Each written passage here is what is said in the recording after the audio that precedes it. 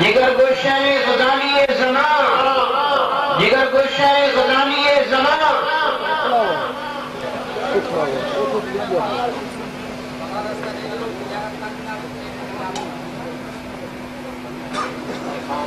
بیس ایک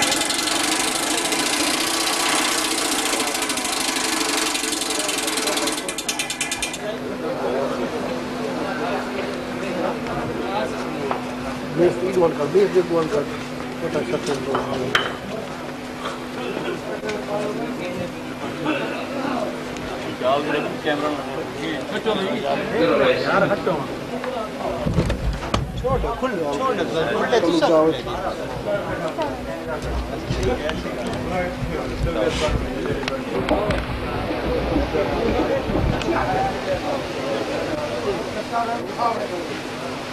Thank you.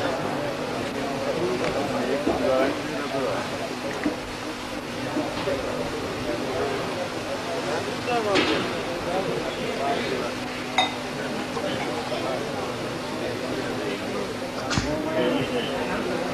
کھل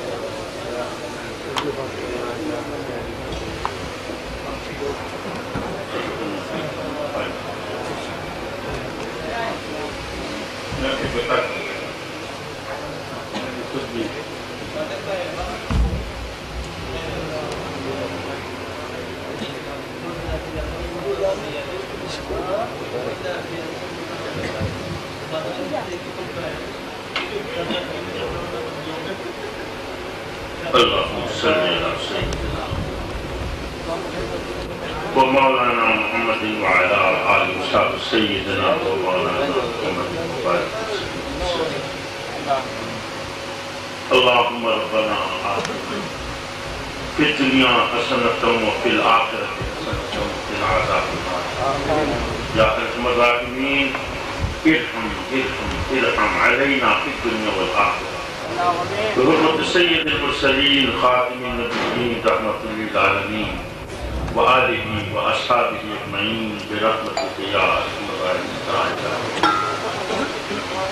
الحمد لله الحمد لله رب العالمين والصلاة والسلام على سيد المرسلين.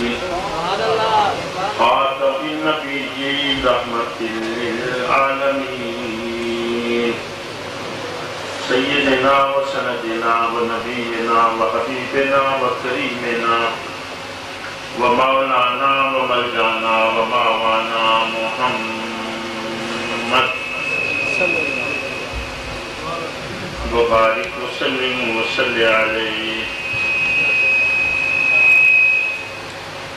أما بعد فأعوذ بالله من الشيطان الرجيم بسم الله الرحمن الرحيم لقد من الله على المؤمنين إذ بعث فيهم رسولا. صدق الله مولانا الذي العظيم وصدق رسوله النبي الكريم. ونحن على ذلك من الشاهدين والشاكرين. والحمد لله رب العالمين. إن الله وملائكته يصلون على النبي. يا أيها الذين آمنوا صلوا عليه وسلموا تسليما. اللهم صل على سيدنا محمد وعلى آله وصحبه سيدنا ومولانا محمد وبارك وسلم وصل عليه. کون ہے لاؤڈ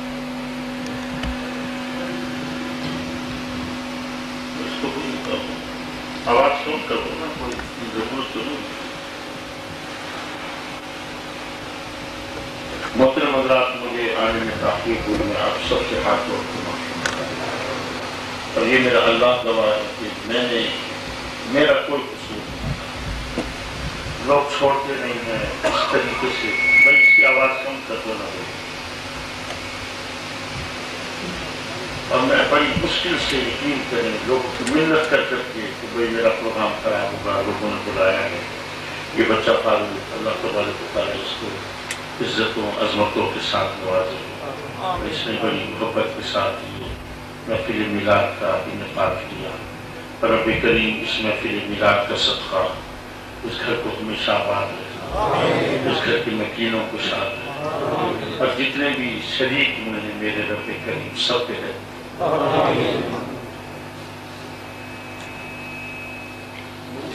ٹھیک کر دو جو میں تھا مجھے خود نہ کروا اس کی کی بند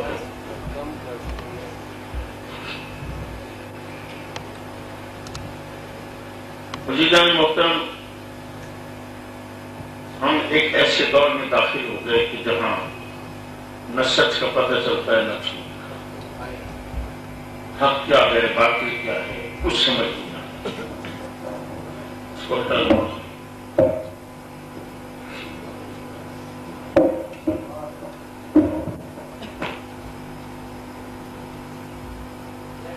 جب ایسا دور آ جائے کہ جس میں نہ حق کا پتہ چلے نہ باطل کا پتہ چلے نہ سچ کا نہ جھوٹ تو پھر ضروری ہوتا ہے کہ انسان عقل سلیم سے کام۔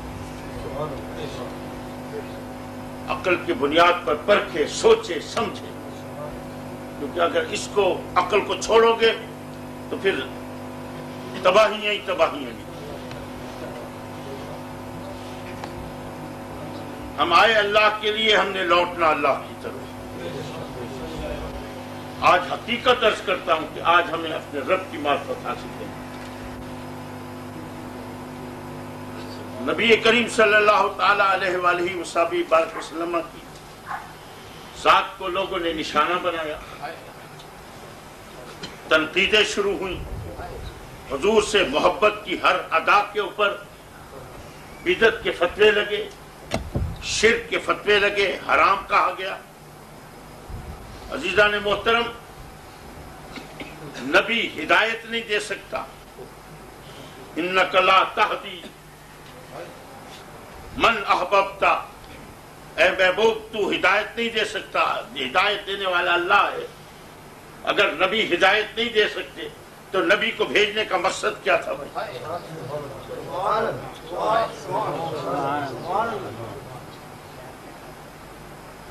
یہ ایسی کیفیات پیدا کی نبی کریم صلی اللہ تعالی وسلم کے بارے میں کہ جس کی وجہ سے آج نتیجہ یہ ہوا کہ ہماری دنیا بھی برباد ہو گئی آخرت بھی برباد ہو گئی۔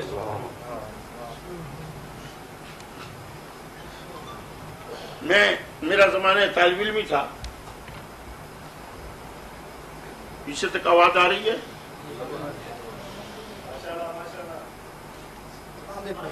جی۔ اگر اس کو صحیح کرتے ہو تو رکھ لیتا ہوں۔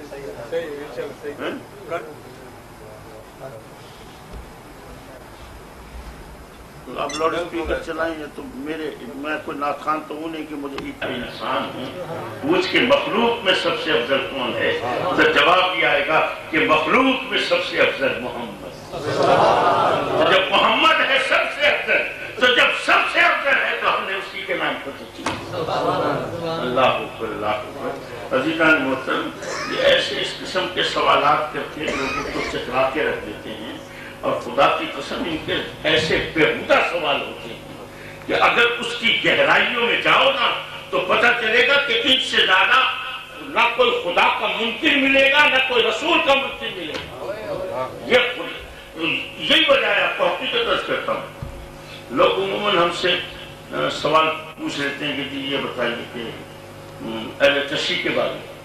اللہ میں آپ کو حقیقت عرض کرتا ہوں کہ اہل تشریح میں یہ کوئی شیوں کی کوئی فیور ویور نہیں کر رہا ہوں۔ نہ مجھے کوئی ان سے کوئی ایسے لگاؤ۔ لیکن جو حقیقت ہے وہ باہر حقیقت ہے۔ اہل تشریح سے ہمارا خدا اور اس کی رسول کی حد تک ہمارا کوئی اختلاف نہیں۔ اللہ اور اس کے رسول کی حد تک اہل تشریح سے ہمارا کوئی اختلاف نہیں ہے۔ اللہ پر ہمارا ان سے اختلاف ہے تو صحابہ پہ آ کے اختلاف ہوا ہے۔ لیکن یہ جتنے جو بندی وہاں بھی ہیں، ان سے ہمارا اختلاف خدا کی ذات پہ بھی ہے، رسول کی ذات پہ بھی ہے، صحابہ کی ذات پہ بھی ہے، اہل بیت کی ہتھار کی ذات پہ بھی لیکن یہ ان کی کیفیت، جیسے آپ نے اکثر دیکھا ہوگا، یہ انہوں نے دیواروں پہ چوکی کی ہوئی ہے کہ قبروں کا احترام، قبروں کا احترام، قبروں کو سجدہ کرنا حرام۔ اللہ اکبر بعد والے فطرے سے تو مجھے اتفاق ہے کہ اس قبروں کو سجدہ کرنا حرام لیکن جو پہلا فکرہ ہے کہ قبروں کا احترام، ذرا سے پوچھ کیا اس کا مطلب کیا ہے؟ قبروں کا احترام کس کو کہتے ہیں؟ کیا وہی احترام جو تم نے جنت البقی میں کیا، جو تم نے جنت الماوا میں کیا؟ صحابہ کرام کی قبریں مسمار کر دی، اہل بیت خان کی قبریں مٹا دی، روضہ رسول کو گرا رہے رسول کو مٹا رہے تھے۔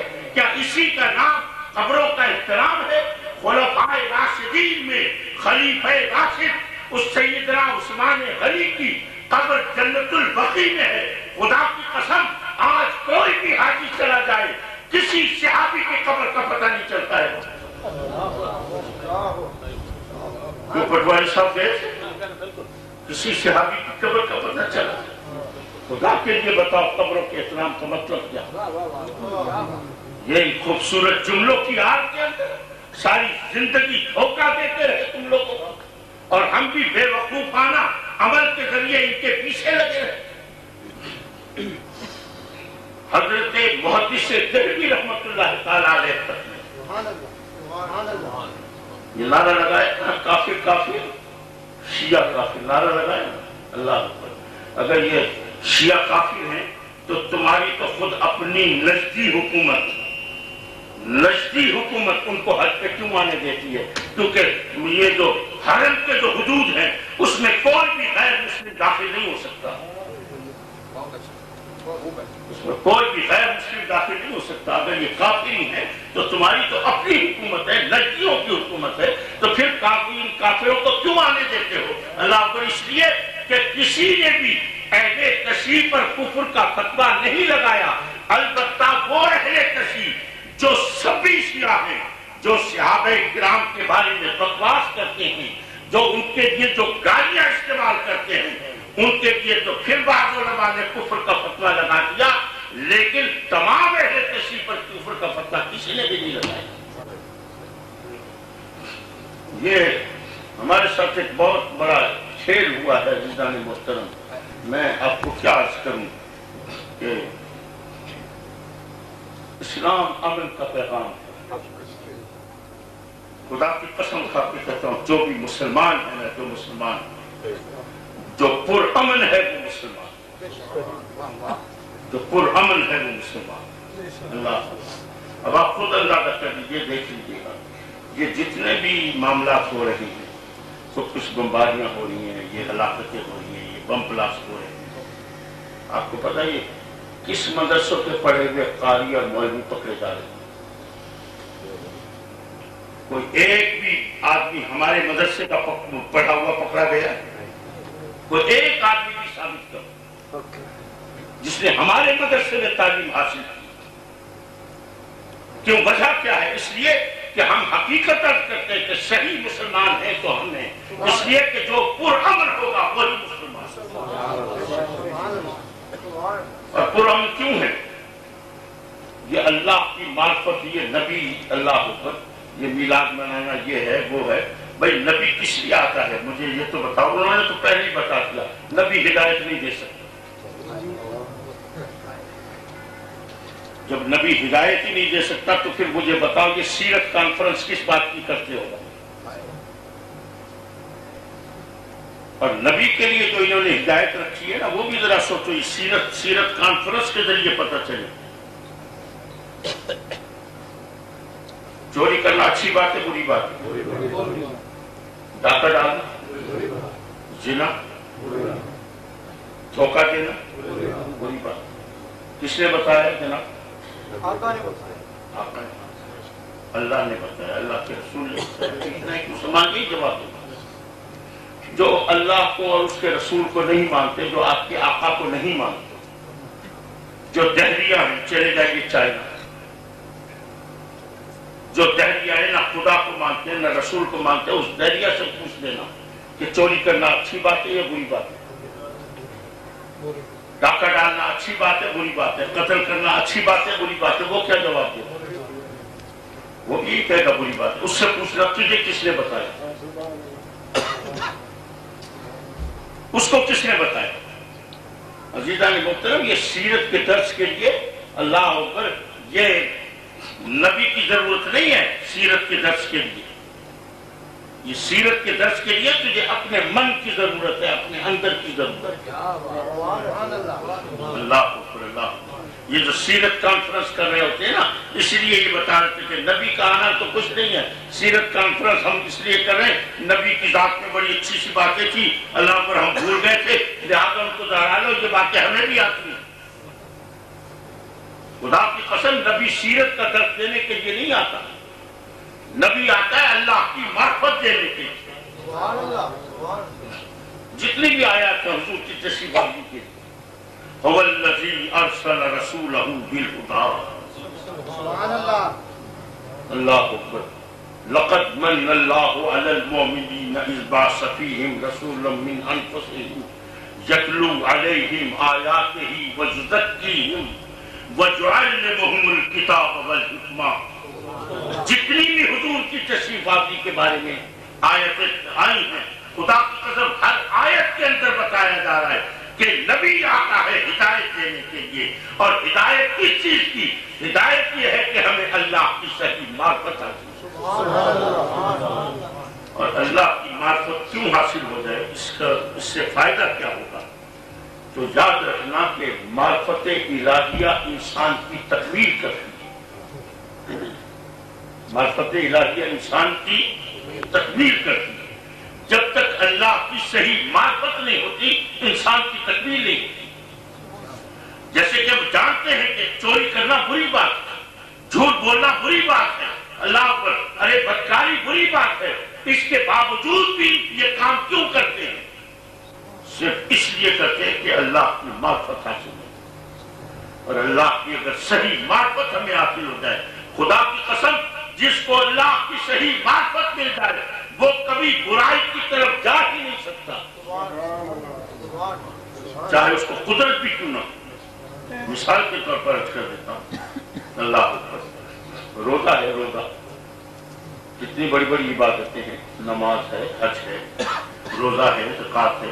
لیکن تمام عبادات میں اگر آپ کبھی غور کریں گے نا، تو صرف ایک واحد روزہ ایسی عبادت ہے جس کے لیے اللہ تبارک و تعالیٰ نے یہ فرمایا کہ یہ عبادت میرے لیے۔ السوم لی۔ السوم لی روزہ میرے لیے ہے۔ ایک واحد یہ روزہ عبادت ہے جس کے لیے اللہ نے لی کا لفظ استعمال کیا کہ یہ میرے لیے ہے۔ حالانکہ ایمان سے بتائیے نماز کس کے لیے پڑھتے ہیں؟ حج کس کے لیے کرتے ہیں؟ اللہ کے لیے۔ لیکن اللہ تبارک تعالیٰ نے کہیں نہیں فرمایا کہ الصلاۃ لی یا الحج لی کہیں نہیں فرمایا، صرف فرمایا تو کس عبادت کے لیے، روزے کے لیے کہ الصوم لی یہ روزہ میرے لیے ہے۔ اور یہ کیوں فرمایا؟ اس لیے فرمایا کہ روزہ وہ واحد عبادت ہے جس سے تمہیں خدا کی صحیح معرفت حاصل ہو۔ اب مشاہدہ کر کے دیکھیں۔ شدید گرمیوں میں روزے آتے ہیں اور آپ روزہ رکھ لیں۔ اور دوپہر کے بجے بارہ ایک کو شدید آپ کو پیاس لگے، شدید بھوک لگے۔ آپ کمرے کے اندر موجود ہیں اور آپ کے کمرے میں فریج بھی رکھا ہوا ہے۔ اس کے اندر غذائیں ہیں، پھل فروٹ ہے مشروبات ہیں۔ کوئی نہیں ہے کمرے کے اندر، آپ اکیلے ہیں۔ ٹوٹی لگائیے، پردوں کو ڈال دیجیے گا اور تھوڑا سا ایک دو گلاس پانی پی لیجیے۔ کوئی نہیں دیکھ رہا کبھی پیتے ہو پانی؟ کیوں نہیں پیتے؟ ارے تمہیں تو موقع مل جائے۔ کہ مجھے کوئی نہیں دیکھ رہا، ایک منٹ ضائع نہیں کرتے چرم کرنے میں۔ اسی وقت چرم کرتے ہیں، لیکن آج جانتے ہیں کہ کوئی نہیں دیکھ رہا۔ قدرت بھی رکھتے ہیں، ہر چیز پر دسترت بھی ہے، شدید بھوک بھی ہے، پیاس بھی ہے۔ لیکن اس کے باوجود بھی ایک گلاس پانی تک نہیں پیتا، کیوں نہیں پیتا؟ آج تجھے رب کی صحیح بات پتا ہے۔ میرا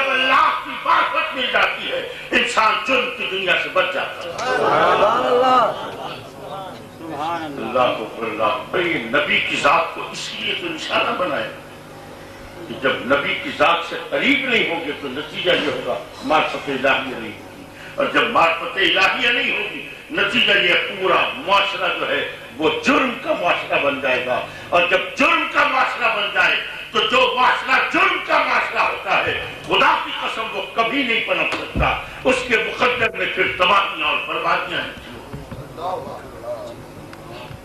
اللہ تبارک و تعالی ہم سب کو عقل سلیم عطا فرمائے۔ بڑے حسین حسین باتیں کرتی ہے اللہ پر مجھے یاد ہے کہ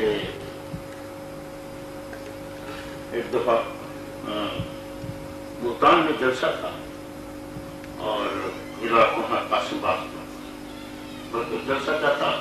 مناظرہ تھا مناظرہ۔ دوسرا گروپ بھی تھا ادھر والد کے قریب۔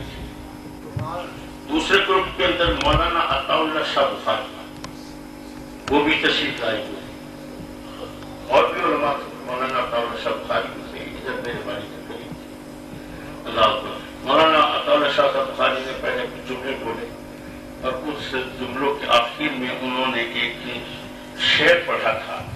جو آج تک مجھے یاد ہے، وہ شعر یہ تھا۔ مولانا نے کہا تھا کہ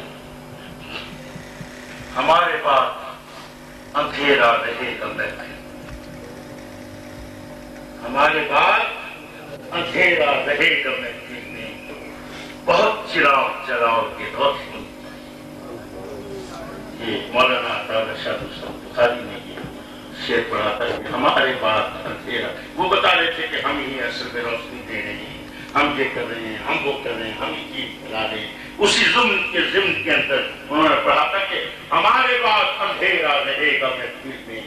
بہت چراغ جلاؤ کی۔ روشنی جس میرے والد قریب کھڑے ہوئے تو انہوں نے اسی شعر کو ایک دوسرے انداز سے پڑھا۔ فرمایا تھا، ہمارے بعد اجالا رہے گا محفل ہمارے بعد اجالا رہے گا محفل میں کہ ہم نے خود کو جلایا ہے روشنی کے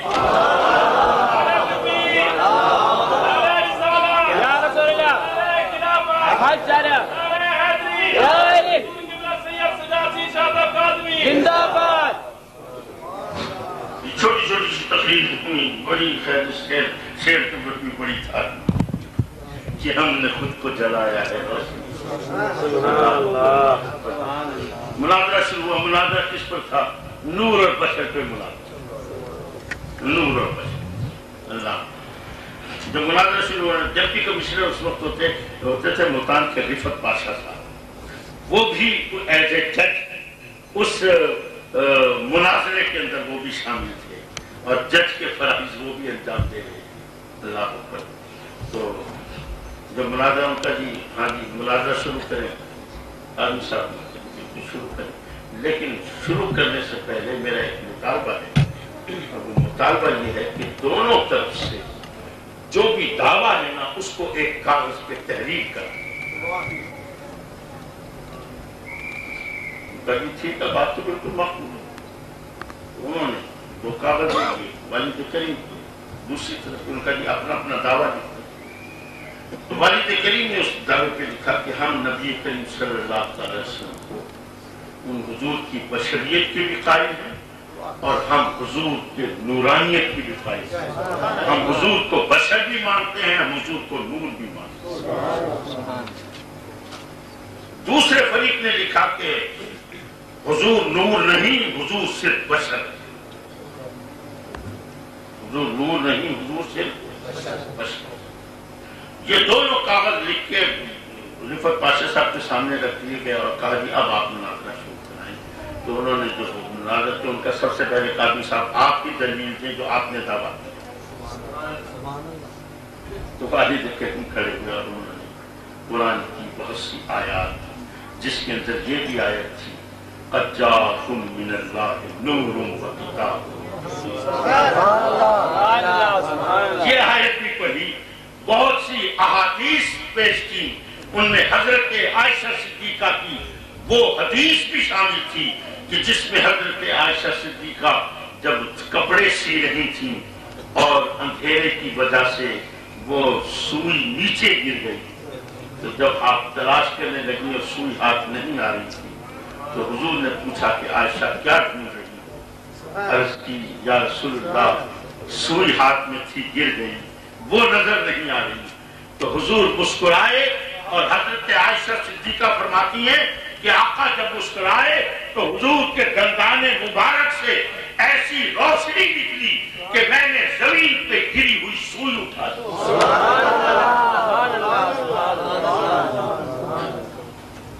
مجھے سارے دلائل دینے کے بعد حضرت صاحب خاموش ہوئے اور کہا کہ جی، اب ادھر سے دلائل اب ادھر سے مولوی صاحب کھڑے ہوئے۔ اب مجھے آج نام یاد نہیں، کیونکہ میرا بھی بالکل لڑکپن کا دور تھا۔ کہ کون سی مولانا تھے باہر وہ کھڑے ہوئے اور انہوں نے کھڑے ہوتے کے ساتھ جو آیت پڑھی وہ یہ تھی انما انا بشر بشر جب یہ آیت پڑھی تو والد کریم نے وہیں ان کو روکا ان کا جناب جج صاحب یہ آیت نہیں پڑھی جا سکتی کیونکہ بشریت کو یہ بھی مانتے ہیں ہم بھی مانتے ہیں بشریت کو یہ بھی مانتے ہیں ہم بھی مانتے ہیں اس بشریت میں اختلاف نہیں ہے۔ اختلاف ہے تو نور میں ہے۔ ہم حضور کو نور مانتے ہیں، اس لیے حضور کے نور ہونے کے ثبوت میں میں نے قرآن کی آیات بھی پیش کی، میں نے احادیث بھی پیش کی۔ یہ حضور کو نور نہیں مانتے، اس لیے یہ قرآن کی ایسی آیتیں پیش کریں جس سے پتا چلے کہ حضور نور نہیں ہے۔ اب وہ جب بھی وہ مولوی کھڑا ہو، وہ کوئی بشرت والی آیت پڑھنا شروع کر دے والی کریم کہیں گے، فاؤل ہے، یہ غلط بات ہے۔ تو نے آیت پڑھی ہے تو وہ آیت پڑھ جس سے پتہ چلے کہ حضور نور نہیں ہے خدا کی قسم، بیس، پچیس مرتبہ کھڑا ہوا۔ لیکن ہر دفعہ اسی طریقے سے بیٹھتا رہا کہ اس کے پاس کوئی ایسی آیت ہی نہیں تھی، کوئی ایسی حدیث ہی نہیں تھی۔ جس سے کہ یہ پتا چلتا کہ حضور نور نہیں اللہ اکبر، اللہ اور عزیزان محترم، یہ نور اور بشر کے چکے ایسی ایسی لفظ قسم کی باتیں پھیلا دیتے ہیں۔ اللہ اکبر اللہ اکبر۔ ارے، حضور نور ہے کیسے نور ہے حضور کیسے نور ہے ہمیں خدا کی قسم ہماری عقلوں کی رسائی نہیں ہے، ہماری سمجھ پہنچ نہیں سکتی ہے۔ ہم تو صرف یہ جانتے ہیں، اللہ نے اپنے نبی کو نور کہا ہے، ہم بھی نبی کو نور اللہ اللہ اور یہ نبی کریم صلی اللہ تعالیٰ علیہ وآلہ وسلم کے یہ نام جتنے بھی ہیں، ننانوے نام۔ یہ کس نے رکھے؟ اللہ۔ اللہ تعالیٰ پھر حضور نے اپنے ناموں کے بارے میں اپنے اصحاب کو بتایا کہ اللہ تبارک و تعالیٰ مجھے ان ناموں سے یاد فرماتا ہے۔ اور پھر صحابہ کرام سے وہ نام محدثین نے لیے، اللہ اپنی کتابوں میں درج کیے، اور آج ہم انہی محدثین کی کتابوں سے کہ جو انہوں نے جو حضور کے نام جو درج کیے صحابہ سے سن کر ہم انہی ناموں سے حضور کو پکارتے ہیں۔ زرقانی اٹھا کے دیکھ لیجیے مواہب دنیا اٹھا کے دیکھ لیجیے اور اس میں دیکھیے گا کہ حضور کا نام نور لکھا ہوا یا نہیں لکھا ہوا اس میں حضور کا نام شفیع لکھا ہے یا نہیں لکھا؟ اس میں حضور کا نام مختار لکھا ہے یا نہیں لکھا؟ عزیزان محترم، ذرا سوچئے گا کہ ایک ایسا گروپ جو کہ حضور کے ایک نام کا انکار کرتا ہے، صرف ایک نام کا۔ اور وہ نام کون سا ہے؟ خاتم النبیین۔ وہ بھی الفاظ کا انکار نہیں کرتا۔ خاتم النبیین مانتا ہے، لیکن اس کے معنی کو تبدیل کیے ہوئے۔ اللہ۔ یہ اللہ تبارک و تعالیٰ قرآن حکیم کے اندر ارشاد فرماتا ہے جدل بہی کثیرم وجاہی بہی اللہ تعالیٰ فرماتا ہے، اس قرآن سے بہت سے لوگ گمراہ ہو حالانکہ یہی قرآن ہے جس کے سر میں آغاز میں اللہ تعالیٰ جو جملے استعمال فرما رہا ہے، ذرا اس پہ نظر ڈالیں۔ اللہ فرماتا ہے، الف لام میم، ذالک الکتاب لا ریب فیہ، ہدی للمتقین۔ اللہ فرماتا ہے، یہ لا ریب کتاب لا ریب کتاب ہے۔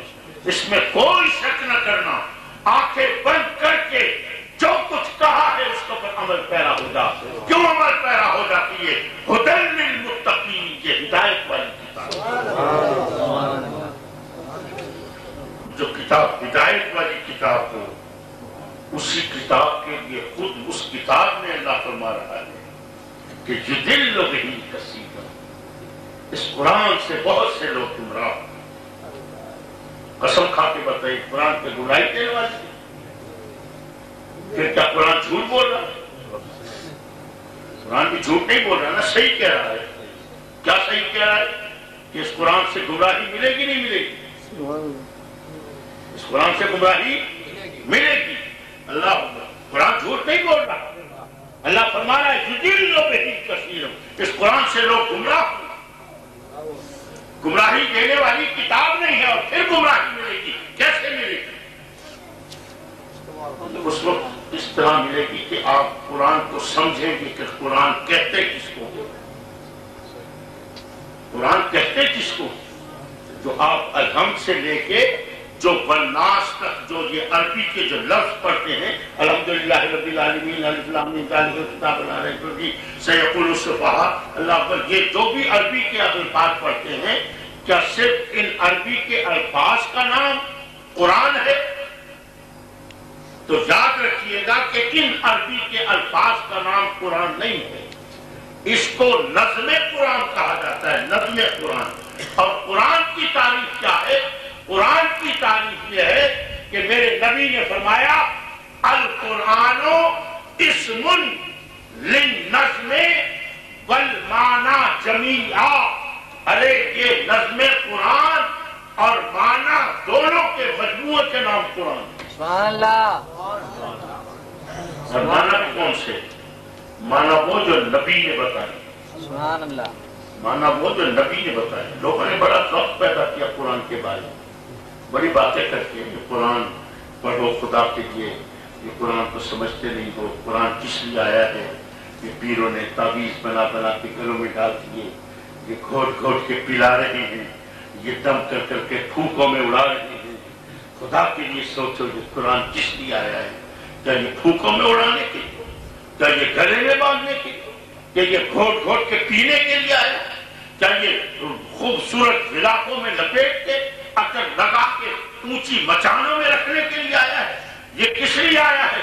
اللہ اکبر۔ ارے یہ قرآن ذرا سوچو، اس کے اندر کیا قوت ہے؟ ارے قرآن کی قوت کا تو یہ عالم ہے، قرآن خود کہتا ہے، اگر ہم اس کو پہاڑ پہ بھی نازل کرتے، تو پہاڑ بھی ریگا ریگا ہو اتنی قوتوں والی کتاب آج اس کی قوتوں کا ذرا مشاہدہ کرو، تو ایک گلاس پانی بھی پڑا ہونا کسی کو کہو کہ قرآن کی قوت سے ہٹا دے تو کوئی ایک گلاس پانی کو نہیں ہٹا سکتا قرآن کی قوت سے۔ کہاں گئی خدا کے لیے قرآن کی قوت؟ ذرا سوچو، حضرت بابا فرید کا واقعہ۔ ہے مولانا پہنچے تھے حضرت بابا فرید کے پاس۔ اور جا کے عرض کی کہ حضور بہت ہی غریب ہوں، بہت ہی مسکین ہوں، پریشان حال ہوں اس وقت۔ میری کوئی مدد فرما حضرت بابا صاحب نے فرمایا کہ جاؤ مولانا ذرا ایک مٹی کا ڈالا تو اٹھا لو۔ مٹی کا ڈالا لے کر آئے، آپ نے اس کے ہاتھ سے لیا، مٹھی میں پکڑا، تین مرتبہ کل ہو اللہ شریف پر ہی پھونک ماری اور مولانا کے ہاتھ میں دی اور فرمایا، جاؤ مولانا اپنی ضرورت پوری کرنے میں۔ اب جب مولانا نے اپنی مٹھی کھول کے دیکھی تو کیا دیکھتے ہیں؟ وہ مٹی کا ڈلا وہ مٹی کا ڈلا نہیں تھا، وہ سونے کی دری پر بڑے خوش ہوئے، نسخہ یقین ہاتھ آ گیا۔ اللہ گھر پہنچے، اپنی بیوی کو بلایا، کہنے کہ آج دیکھ کر اس میں دکھاتا ہوں۔ انہوں نے کہا، ساری زندگی کا اس میں دکھاتا رہا آج کوئی نوا کرشمہ سیکھ کے آنا وہ نوا کرشمہ دکھے تھے کرشمہ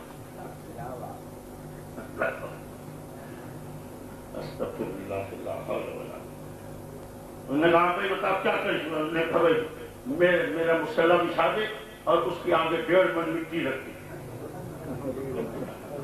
انہوں نے کہا بہت پاگل ٹھیک ہے کیا ٹھیک ہے ان کا بس تو رکھ دے پھر دیکھنا کرشمہ دیکھنا بیچاری کاٹ گزار دی ہوئی تھی اس نے مسلح بچھایا آگے ڈیڑھ من مٹی رکھ دی مولانا بیٹھ گئے اللہ اکبر، نماز نماز پڑھ کے پانی پورا کل ہو اللہ شروع پڑھا ساری رات پڑھتے رہے پڑھتے رہے پڑھتے رہے۔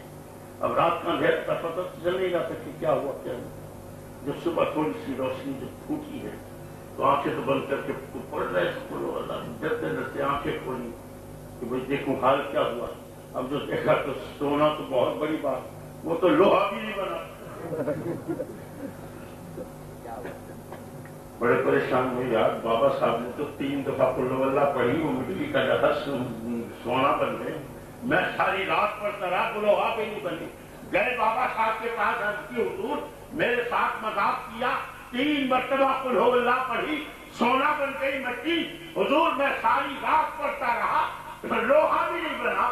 بابا صاحب مسکرائے۔ فرمایا مولانا کل ہو اللہ تو وہی ہے ایک ہی ہے لیکن یہ بتا فرید کی زبان کا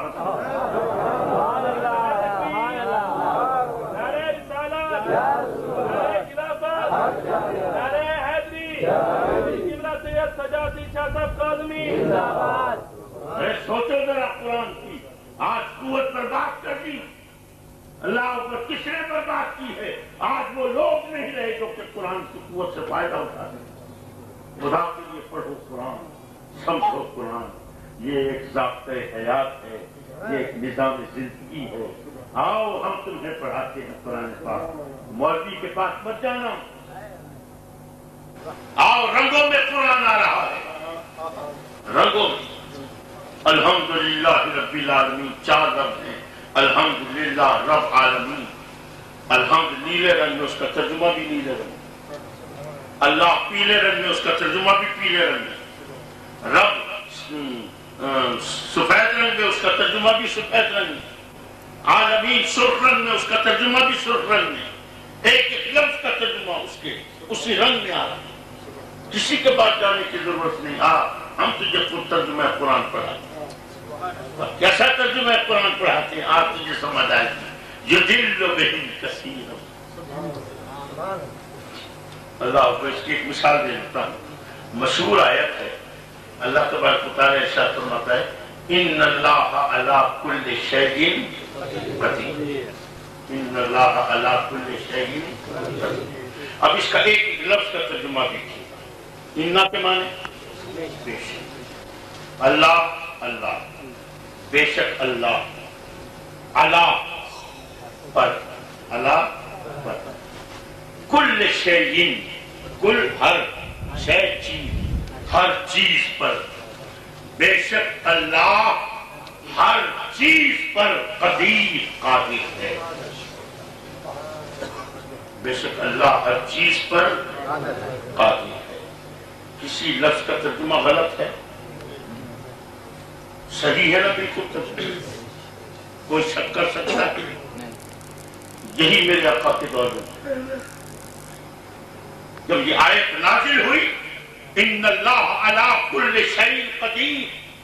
تو یہ سارے مشرک مل کے یہ صحابہ کے پیچھے پڑ گئے۔ تمہارا نبی، تم اپنے نبی کو سچا سمجھتے تم کہتے اس کے اوپر وہی آتی ہے۔ ارے، یہ یہ قرآن آ رہا ہے۔ یہ وہی آ رہی ہے، یہ نبی، یہ سب کچھ جھوٹ ہے۔ ان کا کیسے؟ ان کا تم خود بتاؤ گے، آیت آئیے نہیں آئی؟ ان اللہ اللہ کل شعین قدیر۔ اللہ ہر چیز پر قادر ہے یا نہیں؟ ہے ہر چیز پر قادر ان کا جاؤ اپنے نبی سے سوال کرنا۔ پتہ چلے گا۔ یہ بتاؤ کہ کیا اللہ اپنا جیسا اور خدا پیدا کرنے کے قادر ہے؟ کیا خیال ہے آپ؟ نہیں یہ قادر پھر ان اللہ اللہ کل شین قدیم کا مطلب کیا؟ تم یہ کہہ رہے ہو اللہ ہر چیز پر قادر ہے، تو پھر جاؤ پوچھو نبی سے کہ کیا اللہ اپنا جیسا اور خدا بنا سکتا ہے؟ کیا قادر ہے اس پر؟ اللہ اکبر اللہ۔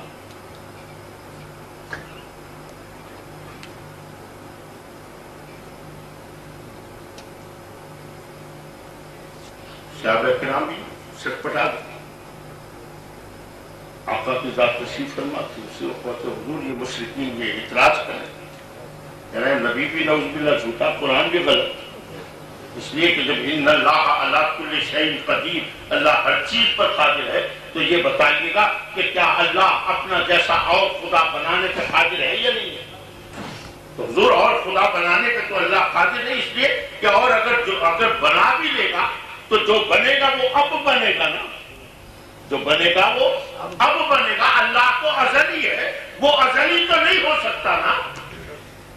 بے شک سارے اختیارات بھی دے دے، سب کچھ دے دے، لیکن اللہ جو ازلی ہے، وہ ازلی صفت تو اس کے اندر آ ہی نہیں سکتی نا۔ میرے نبی نے فرمایا، اللہ اکبر، اب میں تمہیں ترجمہ بتاتا ہوں۔ اس کا ترجمہ یہ ہے، میرے نبی نے فرمایا کہ اللہ جو چاہے، اللہ جو چاہے، اس پر قادر اس لیے خدا کے لیے قرآن پڑھو، تو قرآن کو سمجھو، صرف نظم قرآن قرآن کو نہیں کہا جاتا، بلکہ قرآن کہتے ہیں، نظم قرآن، اور وہ معنی متواتر، وہ معنی متواتر جو میرے نبی سے جو چلے آ رہے ہیں، صحابہ کرام سے ہوتے ہوئے جو آ رہے ہیں، ان معنی کو تسلیم کرنا، اس کا نام قرآن کو ماننا ہے۔ اب یہی ترجمہ کر کے یعنی کیا تباہی پھیلائی گئی؟ یہی ترجمہ کر کے کہ ان اللہ اللہ کل شہید قدیم جو بلکیوں کا مولوی میں کسی پہ اعتراض نہیں کر رہا ہوں۔ لیکن میں حقیقت بات ضرور بتاؤں۔ جو دارالعلوم دیوبند کے بانیوں میں سے مولانا قاسم نانوتوی اس نے کتاب لکھی تحزیر الناس۔ کوئی عربی کی کتاب نہیں ہے، کوئی فارسی کی کتاب نہیں ہے، اردو کی کتاب۔ اس میں یہی آیت لکھتا ہے، ان اللہ اللہ کل شہین قدیم اللہ ہر چیز پر قادر ہے، ہر چیز پر قادر ہے۔ یہ پکا کرنے کے بعد مختلف سوالات کے ذریعے کہ بتاؤ، اللہ اب بغیر باپ کے اولاد پیدا کرنے پہ قادر ہے یا نہیں ہے؟ اللہ بغیر بیج کے فصلیں اگانے پہ قادر ہے یا نہیں؟ ہر جواب یہی آتا کہ اللہ ہر چیز پر قادر ہے، ہر چیز پر قادر ہے۔ آخر میں ایک سوال اٹھاتا ہے کہ بتاؤ کیا اللہ محمد کے بعد اور نبی بھیجنے پہ قادر ہے یا نہیں؟ اللہ محمد کے بعد اور نبی بھیجنے پہ قادر ہے یا نہیں ہے؟ اللہ اکبر تو جواب لکھتا ہے کہ اللہ، جب ان اللہ اللہ کل شہید پتی اللہ ہر چیز پر قادر ہے، تو پھر اللہ محمد کے بعد اور نبی بھیجنے پر بھی قادر ہے۔ جب یہ ترجمہ کیا، اس کے کچھ ہی عرصے کے بعد یہ قادیانیوں کا نبی مرزا، اس نے نبوت کا اعلان کیا۔ عزیزان محترم، یہ مرزائیت کا دروازہ خدا کے لیے سوچو کس نے کھولا قرآن کے غلط ترجمے کر اللہ اکبر کاش کے اگر وہی ترجمہ ہوتا جو میرے نبی نے بتایا اللہ جو چاہے اس پر قادر ہے اس ضمن میں کرو سوال کہ کیا اللہ محمد کے بعد اور نبی بھیجنے پہ قادر ہے. جواب آتا اللہ یہ چاہے سکتا. جب چاہ نہیں سکتا اور نبی آ نہیں سکتا۔ اللہ حکر اللہ حکر جیسے صحابہ کے دور میں بھی یہ ہوا تھا کہ انہوں نے کہا تھا کہ اللہ یہ چاہ نہیں سکتا کہ اس جیسا اور اللہ ہو۔ جب یہ چاہ نہیں سکتا تو پھر اور اللہ ہو نہیں سکتا۔ اللہ حکر اللہ تبارک۔ اور یہ آپ کی حقیقت از کر رہا ہوں۔ یہ آپ نے دیکھا ہوگا یہ ہم بڑے بھی بھی ہم نے مولانا کبھی ختم نبوت کانفرنس سے کیا؟ ختم نبوت کا دفتر کس کے پاس ہے؟ کیوں؟ آپ کے پاس کیوں نہیں؟ آپ کو کیا ختم نبوت سے پیار نہیں پیار ہے۔ پھر دفتر کیوں نہیں بنایا؟ پھر ختم نبوت کانفرنس کیوں نہیں کرتے میں خدا کے لیے ذرا سوچئے گا۔ جب وہ دور آ جائے کہ جس کے اندر سچ اور جھوٹ کا پتہ نہ چلے، تو پھر تجھے اپنے عقل سے کام لینا ہوگا۔ اور اگر عقل کو بالائے طاق رکھے گا، تو تیرے لیے تباہیاں تباہیاں ہوں گی۔ یہ کیوں ختم نبوت کے دفتر میں بیٹھے ہیں؟ یہ سارے دفتر وہ لوگ کیوں سنبھال کے بیٹھے ہیں؟ صرف اس لیے کہ جانتے ہیں کہ جو گولی مرزائیوں، قادیانیوں کی طرف چلی ہے نا، یہ کفر کی جو گولی چلی ہے نا، یہ کہیں گولی ہماری طرف واپس نہ آ جائے۔ کیونکہ اس کا دروازہ تو ہم نے کھولا ہے۔ اس گولی سے ڈرنے کے لیے، بچنے کے لیے ضرورت تھی کسی مورچے کی۔ وہ گولی کی ختم نبوت کی۔ لہذا مورچہ بھی چاہیے تھا ختم نبوت کا۔ اس لیے ختم نبوت کے دفتر بنا لیے۔ ختم نبوت کی عام طور پہ کانفرنسیں کر کے صرف یہ بتانا کہ ہم ختم نبوت کے بہت بڑے علم بردار ہیں تاکہ کسی طریقے سے اس گولی سے ہم بچے رہیں لیکن میں حقیقت درج کرتا ہوں اگر لوگ آج بھی اگر عقل و خیرت سے کام لے لے خدا کی قسم، جس طرح مرزائیوں کو، قادیانیوں کو کافر قرار دیا گیا بالکل اسی طرح ان کو بھی کافر قرار دیا جا سکتا ہے۔ سبحان اللہ۔ کیونکہ بالکل وہی قصور ہے جو انہوں نے کیا تھا وہی قصور انہوں نے۔ اللہ اکبر وہ بھی حضور کو خاتم النبی نہیں مانتے۔ اور وہ تو حضور کے ایک نام کا انکار کرتے ہیں نا۔ ایک نام کا۔ اور جو حضور کے کئی ناموں کا انکار کرتے جو ایک نام کا انکار کرے وہ کافر ہے۔ اور جو کئی ناموں کا انکار کر دے انہوں نے تو خاتم النبیین نہیں مانا نا۔ ارے، تم تو حضور کو نہ نور مانتے ہو، نہ شفیع مانتے ہو، نہ مختار مانتے ہو۔ یہ سارے نام تو اللہ نے رکھے تھے نا۔ پھر تم نے اتنے ناموں کا انکار کر دیا۔ تم مسلمان کرے کھڑے ہو۔ جس نے ایک نام کا انکار کر دیا، وہ کافر ہو گیا۔ یہ تو شکر کیجیے خدا کی قسم کہ قادیانیوں قادیانی کافر قرار دیے گئے اور اگر یہ قادیانی کافر قرار نہ دیے جاتے نا، میں قسم کھا کے کہتا ہوں، آج یہ ملک آگے سے زیادہ، آگے سے زیادہ قادیانی ہوتا ہے، آج یہ ملک۔ کبھی آپ نے، آپ کو تو توفیق ہی نہیں ہوئی کہ دیگر ادیان کو پڑھے دیگر مسائل کو پڑھے سمجھے سوچے کہ کس کس قسم کی کیفیات وہ لے کر آتے ہیں۔ اللہ تبارک و تعالیٰ ہمیں حضور کی محبت عطا فرمائے حضور کی محبت کو زندہ رکھے ایک واقعہ اور ذہن کے اندر آگے اور بیان کرتے ہوئے بات ختم کرتا ہوں۔ اللہ جلسہ ہو رہا تھا، مولانا بیان کر رہے تھے۔ مولانا پٹیالی سے والد کریم کی شاگردوں میں ملتان کے اندر۔ اللہ حیات النبی پہ ذکر کرے انہوں نے ایک جملہ بولا کہ حضور تکبیر اللہ رسالہ یا رسول اللہ حدی سمجھ میں وقت کے بعد کیا ہے لکھا ہے وقت کے بعد کیا ہے؟ یہ وقت لکھا ہے وقت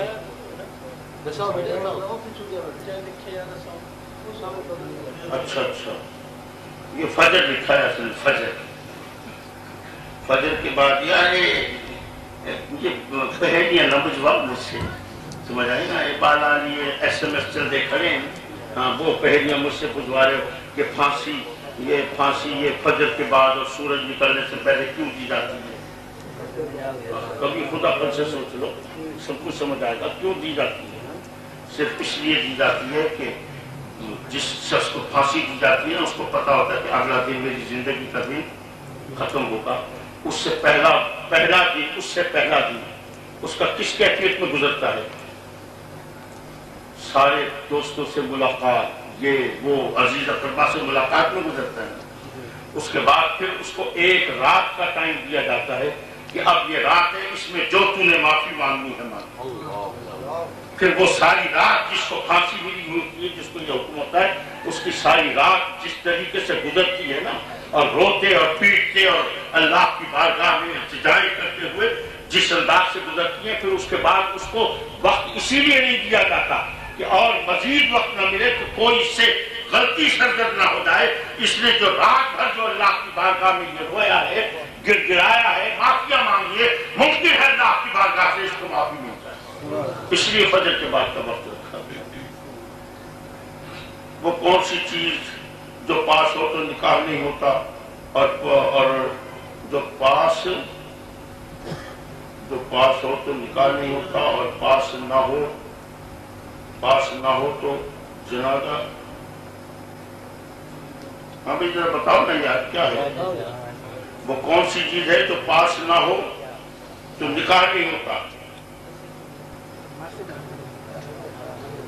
یہ لکھا، وہ کون سی چیز جو پاس جو پاس تو نکاح نہیں ہوتا اور پاس ہو تو جنازہ نہیں ہوتا۔ اللہ اچھا۔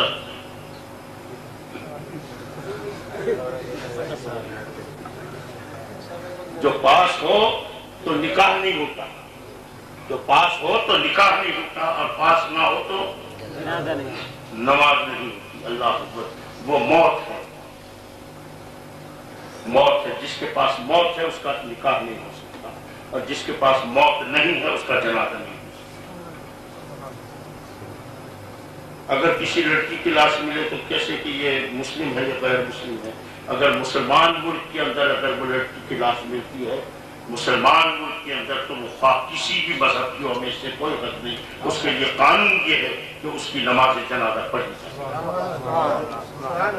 اگر مسلمان ملک کے اندر کسی لڑکی کی بلاش ملے اور پتہ نہ ہو کہ یہ مسلم ہے یا غیر مسلم ہے، تو مسلمان حکومت ہونے کے ناطے یہ شریعت کا حکم ہے کہ اس کی نماز جنازہ پڑھ کے اس کو دفنایا جائے۔ ویسے کوئی بھائی کوئی کوئی جھڑی ہو تو دے تو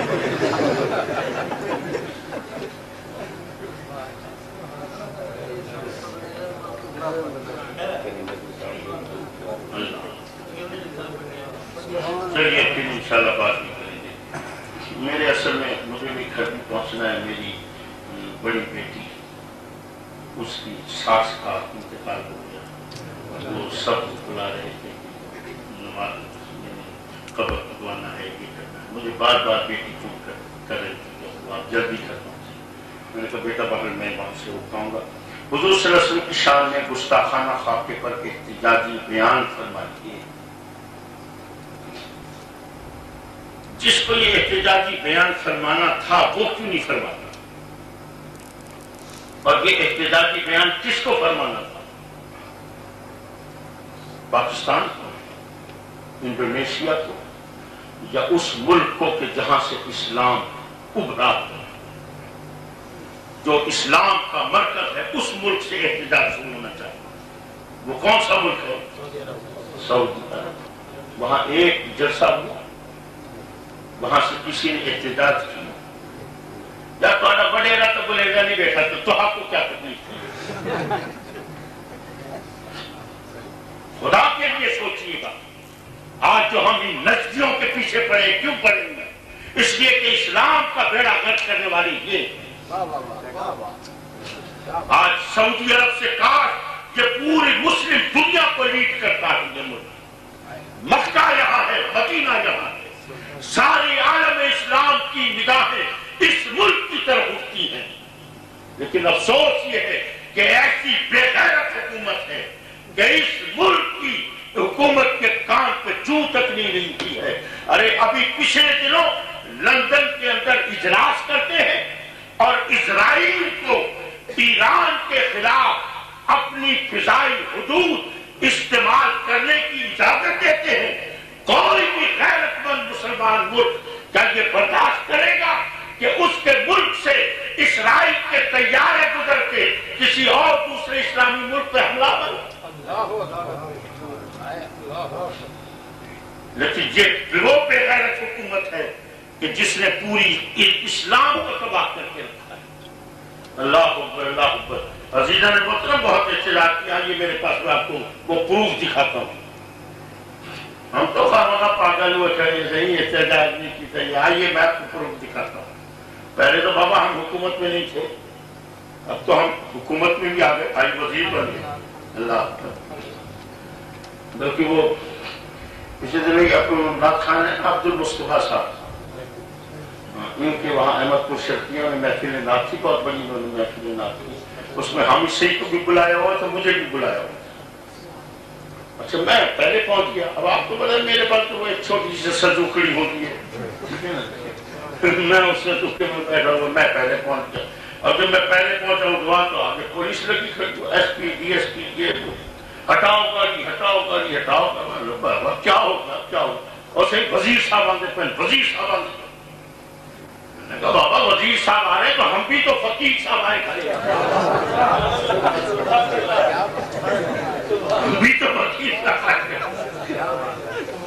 یعنی تو فقیر مجھے نہیں پتا، بس آپ گاڑی ہٹاؤ کھاتے وزیر صاحب۔ ڈی ایس پی صاحب، میں نے کہا بھائی ڈی ایس پی صاحب۔ ایک اور بھی بات سن لے تم جو فقیر ہے نا، وہ وزیر سے بڑا ہے، یہ بھی یاد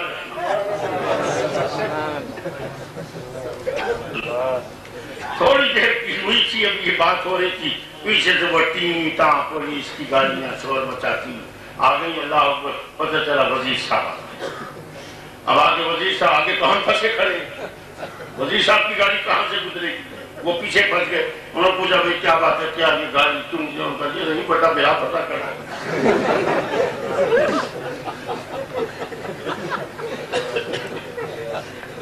ہم اس سے گاڑی سے اتر کے آئے میرے پاس۔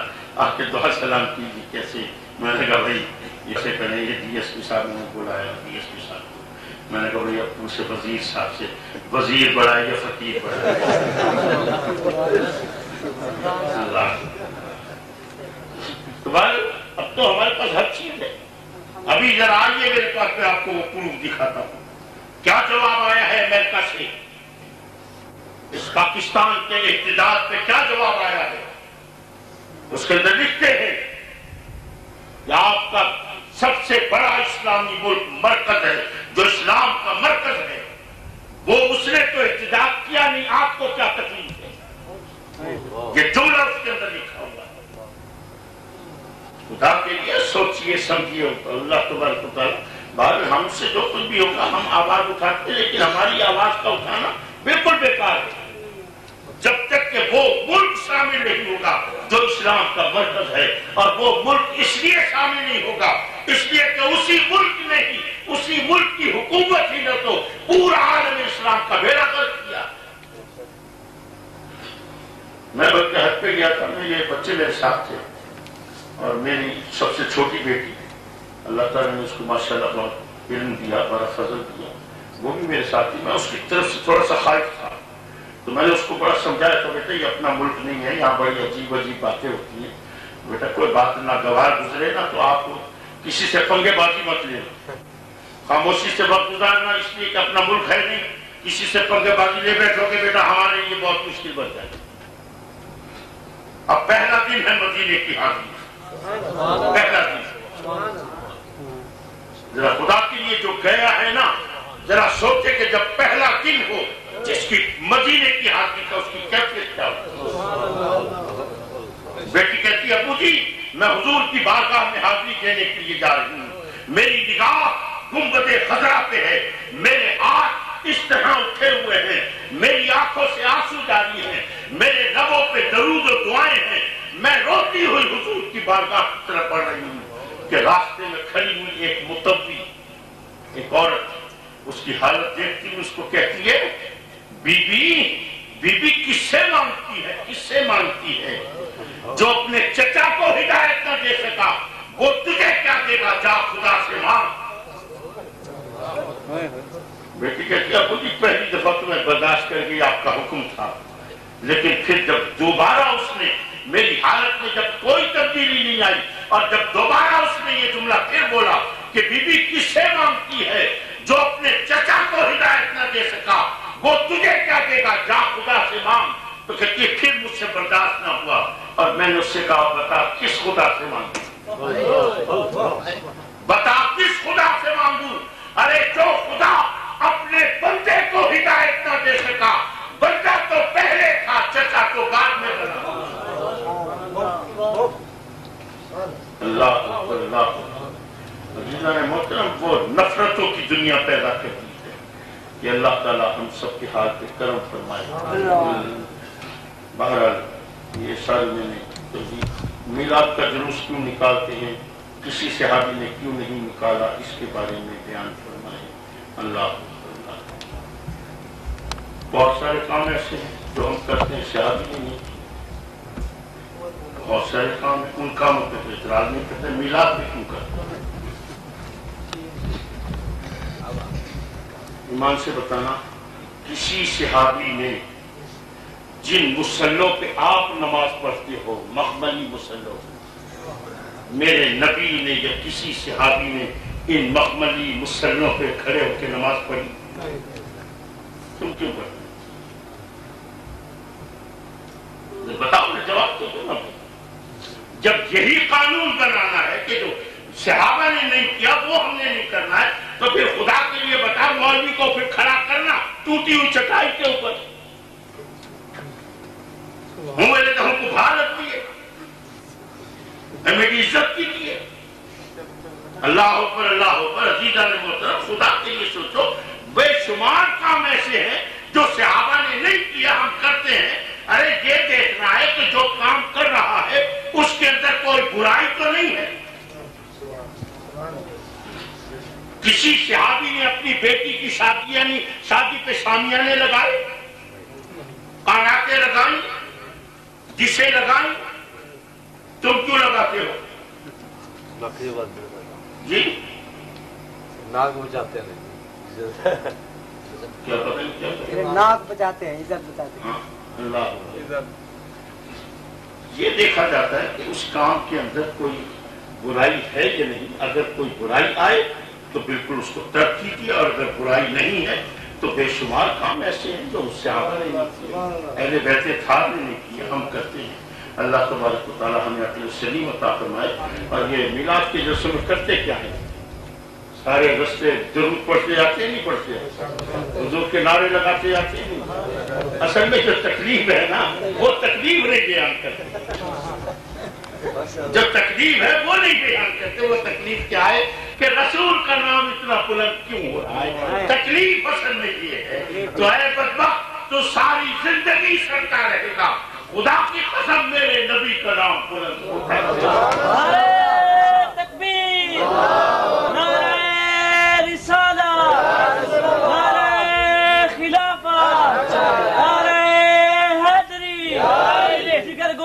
غزالی زمان اللہ تبارک و تعالیٰ ہم سب کو اپنے سلیم عطا فرمائے میں نے کچھ سے جملے ایسے ہوتی ہیں تقریر وقیر نہیں کی ہے۔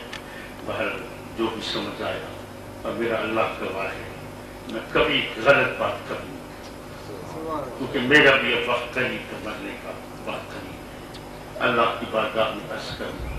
رب کریم تیرے حبیب کی محبت پھیلانے کے لیے جو بھی طریقہ اختیار کر سکتا تھا کیا ہے۔ کہ کاش اس امت کے دلوں میں تیرے حبیب کی محبت۔ اور خدا کی قسم اگر محبت رسول پیدا ہوتا، جیسے صحابہ۔ حضرت خبیر کا واقعہ یاد ہے؟ حضرت خبیر، انہوں نے حارث کو قتل کیا تھا بدر کے میدان میں۔ تو حارث کے بیٹوں نے قسم کھائی۔ ہم اپنے باپ کے خون کا بدلہ ضرور لیں۔ حضرت خبیر اس کے بعد تبلیغ کے لیے گئے مکے کی طرف۔ تو وہاں حارث کے بیٹے کو پتہ چل گیا کہ یہ ہمارے باپ کا قاتل آیا تو انہوں نے کسی طریقے سے حضرت خبیر کو گرفتار کر ابھی مکہ فتح نہیں ہوا۔ گرفتار کر کے مکے میں گیا۔ اور لا کے حضرت خبیر کو ایک لوہے کے پنجرے میں بند کر۔ کھانے کے لیے سور کا گوشت دیتے تھے پینے کے لیے شراب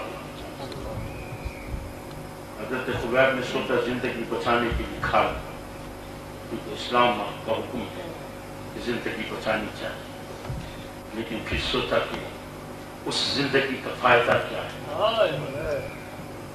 جس زندگی سے دشمن رسول خوش ہو جائے کہ خبیب نے شراب پی جس کو رسول نے حرام کیا۔ خبیب نے سور کا گوشت کھا لیا جس کو رسول نے حرام کیا لعنت ہے اس زندگی کے اوپر جس سے دشمن رسول ہو سوچا مرتا ہوں تو مر جاؤں گا۔ نہ شراب کو ہاتھ لگاتے تھے نہ سور کے گوشت کو۔ چھ مہینے تک لوہے کے پنجرے میں بند رہے۔ حارث کی بیٹیاں کہتی ہیں یہ بیٹی حارث کی بیٹیاں بعد میں مسلمان ہوتی ہیں۔ حارث کی بیٹیاں کہتی ہیں ہم نے خبیب جیسا قیدی نہیں دیکھا۔ ہم اس کو کھانے کے لیے سور کا گوشت دیتے تھے، پینے کے لیے شراب دیتے تھے، لیکن ہماری نگاہ جب اس کے پنجرے میں پڑتی تھی نا، تو اونٹ کے سر کے برابر اتنے بڑے بڑے انگوروں کے خوچے رکھے۔ کہ محمد سے وفات۔ یہ جہاں چیز ہے کیا نہ ہو چھ مہینے کے بعد حضرت خبیب کو حارث کے بیٹوں نے نکالا قتل کرنے کے لیے۔ اور جب باہر نکالا تو انہوں نے کہا حارث انہوں نے کہا خبیب ہم عرب کے لوگوں کا دستور ہے کہ جب کسی کو قتل کرتے ہیں تو اس سے پوچھتے ہیں، تیری آخری خواہش کیا ہے؟ تو تمہاری اگر کوئی آخری خواہش ہو تو بتا تاکہ ہم اس کو پوری کریں۔ حضرت خبیب نے دو خواہشوں کا اظہار کیا کہ میری دو خواہشیں ہیں، کیا پوری کر دو گے؟ ان کا ٹھیک ہے خبیب پوری کر دیں گے، بتاؤ کیا ہے؟ حضرت خبیب نے فرمایا، ایک تو خواہش یہ ہے کہ چھ مہینے ہو گئے، اس لوہے کے پنجرے میں بند ہوں۔ یہی کھانا ہے، یہی پینا ہے، یہی بول ہے، یہی برات ہے۔ نہ نہا سکا، نہ دھو سکا، نہ وضو کر سکا۔ چھ مہینے ہو گئے اس پنجرے میں بند پڑا۔ ہوں مجھے اتنی مہلت دے دو کہ میں اپنے کپڑوں کو دھو لوں، خود غسل کر لوں اور ایک دو رکت نماز نفی لگا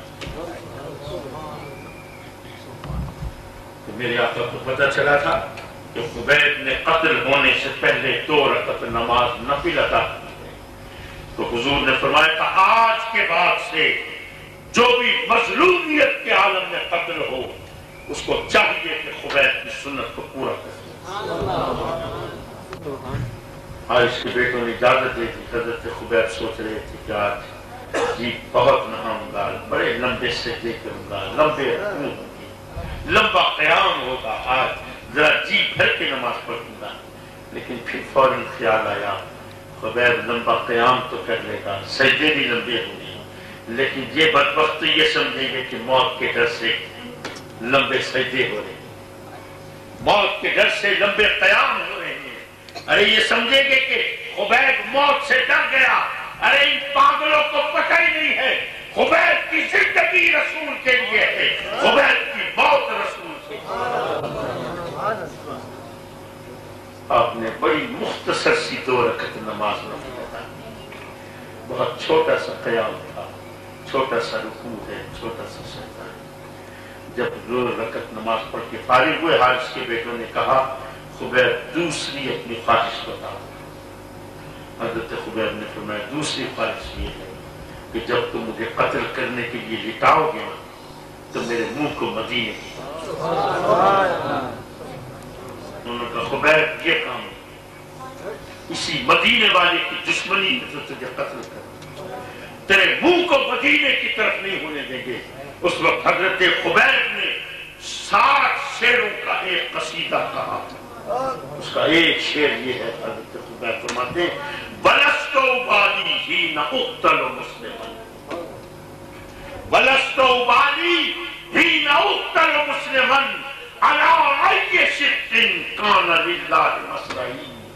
اے قتل کرنے والوں التجا کی تھی کہ میرے منہ کو مدینے کی طرف کر دینا۔ تم نے میری بات نہیں مانی نا۔ نہ کرو میرے منہ کو اس کی طرف۔ ارے تیرے میرے منہ کو تم مدینے کی طرف نہیں ہونے دے رہے نا۔ جب میں مسلمان ہو کے مقتول ہو رہا ہوں، تو تم میرے منہ کو مدینے کی طرف نہیں ہونے دو گے۔ لیکن میرے دل کو تو مدینے سے نہیں میرا دل تو ادھر ہی لگا۔ اللہ یہ ہے وہ محبت۔ یہ ہے وہ چاہت صحابہ کی یہ نیت ہوتی تھی کہ اگر قتل ہو رہے ہیں تو مدینے کی طرف اللہ تبارک و تعالیٰ حضور کی ایسی ہی محبت تھا اسی محبت زندہ بآپ کو تاوان صلاة اسلام پڑھ لیں کھڑے ہو گئے صلاة اسلام پڑھ لیں